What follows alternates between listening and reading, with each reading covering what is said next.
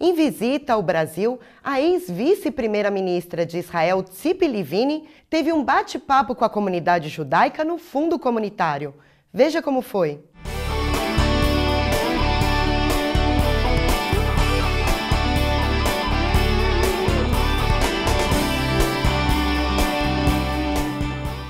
Duzentas e cinquenta pessoas vieram ao fundo comunitário participar do bate-papo com a Tzipi Livini. Com um currículo extenso, algum dos cargos ocupados por ela em Israel foi de ex-vice-primeira-ministra e ex-ministra das Relações Exteriores de Israel. Um encontro importante para a comunidade judaica.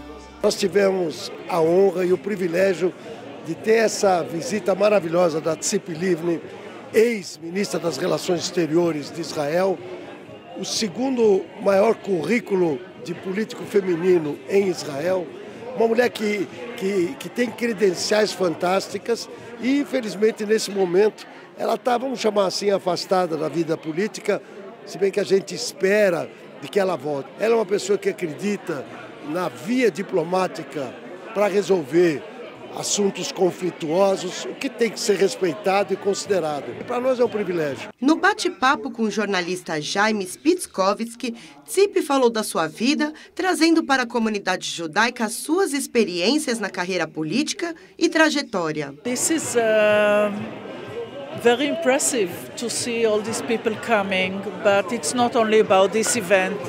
I'm here for uh, three days already. I visited um, the Jewish communities and the organization and the Jewish Museum and the, the country, the country club. And I'm going to visit tomorrow the hospital, Einstein Hospital, and, and the school.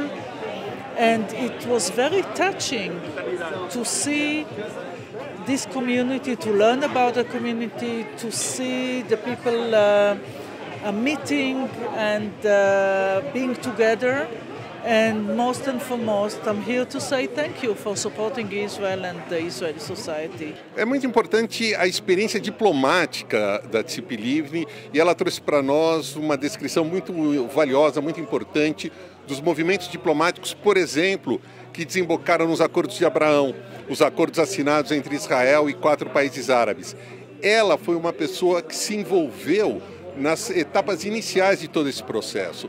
Ela participou de encontros, ainda muitas vezes encontros muito discretos com lideranças árabes, que foram responsáveis por pavimentar o caminho para que em 2020 Israel e esses países árabes assinassem acordos que são indubitavelmente um fenômeno fundamental para o redesenho do Oriente Médio. Tzip é vista como uma das maiores líderes de Israel. E ao falar que ela inspira mulheres, o jeito sério saiu de cena. As a well, first, first I believe that it's time for women. Uh, it's time to to not to speak about me too, but about me too in power. So, uh, as a woman uh, in Israel, that uh, usually the challenges of Israel are security. Um, it took some time uh, also for Israelis to, to, for Israelis to understand that women are even better uh, when it comes to decision uh, also on security. We have a broader perspective and we can contribute our perspectives, understanding to decision making. And I hope to see more women in politics in Brazil and in Israel. Dirigentes da comunidade judaica também vieram conhecer pessoalmente a ex-vice-primeira-ministra de Israel, trazendo admiração pelo trabalho que ela fez. A Cipi é uma das políticas mais eh, que foi mais influentes no Estado de Israel nos últimos 25 anos. Eu acho que foi muito importante para, para os doadores do fundo comunitário poder escutar a opinião dela una persona que fez mucho por el Estado de Israel, una persona que tiene una visión eh, histórica y política muy eh, clara, muy, muy, muy centrada. Eh, y poder compartir su opinión, su, su creencia, su, sus valores, para ver hacia dónde, qual pode ser o futuro de Israel. Eu acho que mais do, do que um bate-papo com alguém que conhece todos os trâmites internos de Israel, a política externa de Israel, eu ouvi um pouco uma pessoa que talvez evocou a figura de Golda Meir. Né? Quando a Tzipi Livni era ministra das Relações, ela atuou por um pouco como ministra de Israel, a gente pensou que a gente ia ter uma nova dama de ferro para a política de Israel. E ela é uma pessoa, como mostrou aqui, uma pessoa muito inteligente, muito objetiva.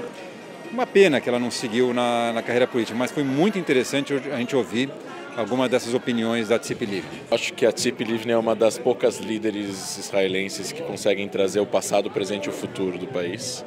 É, particularmente, eu gosto muito dela, eu achava ela uma pessoa bastante é, convicta, é, visionária e importante para o futuro do Estado de Israel. Quando eu morei lá durante os 10 anos, eu acompanhava bastante ela, tinha muito orgulho de Israel ter uma ministra das Relações Exteriores como ela e uma líder das negociações de paz. Eu acho super importante que as coisas que ela falaram aqui reverberem na comunidade judaica, porque é a educação a respeito de Israel que a gente precisa. E a educação é o caminho da paz. Esse é o slogan da Stand With Us.